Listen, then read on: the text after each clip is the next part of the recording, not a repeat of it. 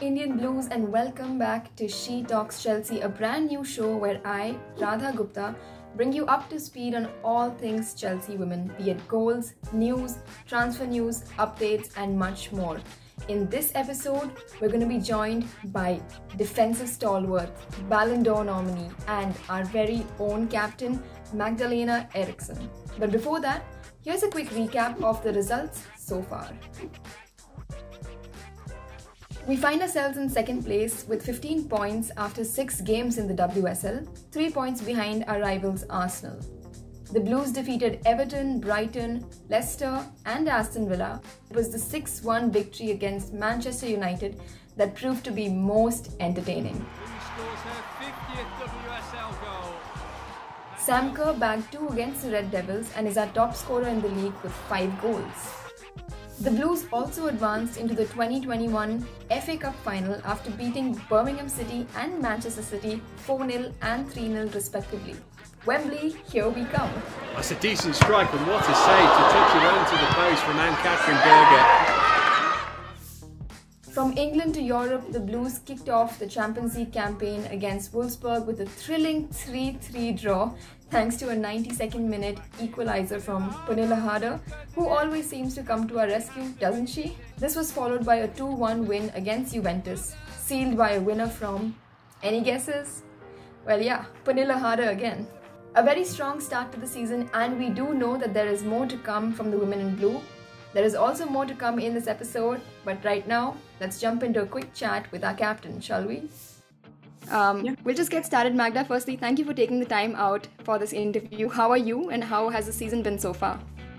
I'm really good. I think the season has been really exciting, like with the new Champions League format, with all the exciting games we've had, and the way we've started the season as well. I think apart from that first uh, one game against Arsenal, I think we've started the season really well.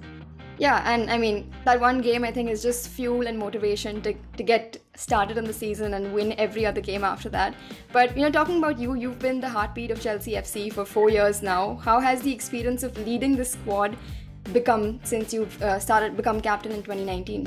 Uh, yeah, it's uh, it's evolved as, as the team has evolved. Like I'm, I have evolved as a football player, as a leader, as a person throughout my years at this club. I think that's what's so exciting with playing for this club is that you you can't stand still because Emma won't allow you to stand still.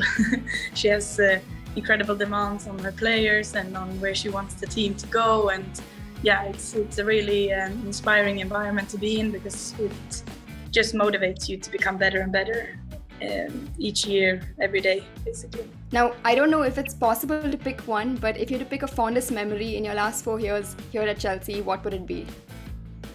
Mm, every time I get this question, it, it, usually ends up, my mind always goes back to that first FA Cup final at Wembley.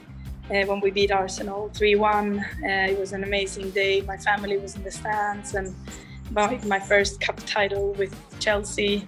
I think it was 45,000 people at Wembley. So my first game ever at Wembley. So I think the first moments you experience something is always the biggest. So for me, the first FA Cup win, that was uh, so uh, so amazing, and I'm really really happy that we're going back to Wembley this December. Yeah, it's, it's gonna be a jam-packed crowd for sure. And of course, you mentioned that that first trophy being so big. You've had a few along the way. I think seven honors so far. And last season, we won the league, we won the Community Shield, we won the League Cup. I, I may know your answer for this, but what are your expectations from the team this year around?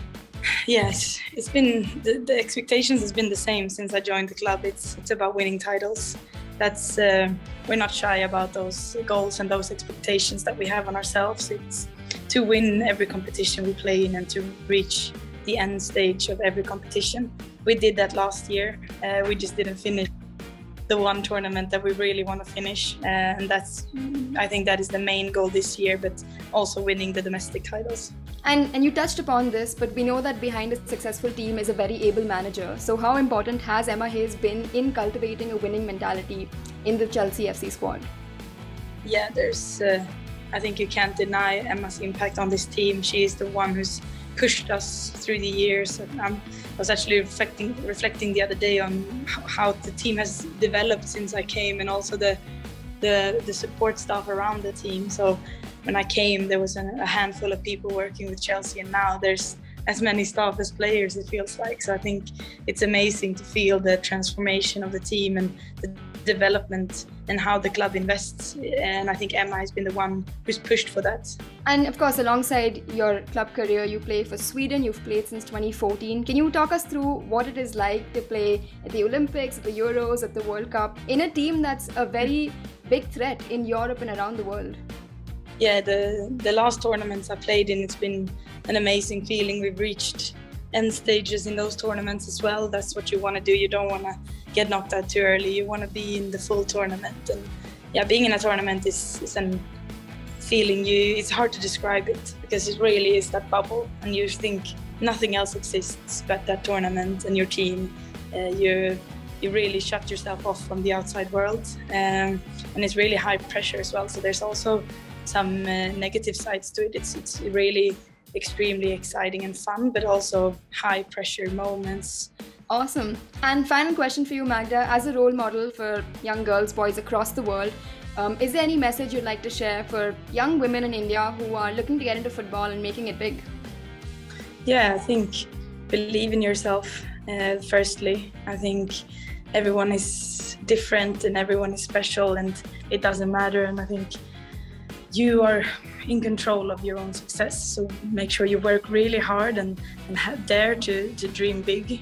Because if you dare to dream big, you might end up in a, wearing a Chelsea shirt or wearing another shirt, whatever shirt you want to wear. And I think uh, don't put any limitations on your dreams uh, and believe in yourself. I think those are the perfect words to end this interview, Magda. All the best for the match on the weekend. It's been an honor speaking to you, and thank you for taking the time out. No worries. Thank you. Alright then, hope you liked that interview. Without wasting any more time, let's get into what the women have planned for the next couple of months. The Blues will return to Super League action on Sunday 14th November at 8.30pm IST against rivals Manchester City. We defeated Man City 3-0 earlier this year in the FA Cup and we hope for more of the same on Sunday. That brings us to the end of episode 2 of She Talks Chelsea. Thank you so much for tuning in and do let us know how you liked the player interview, if you'd like more of them, and wish the team all the best for the intense two months coming up in November and December. Until then, guys, please take care and keep the blue flag flying high.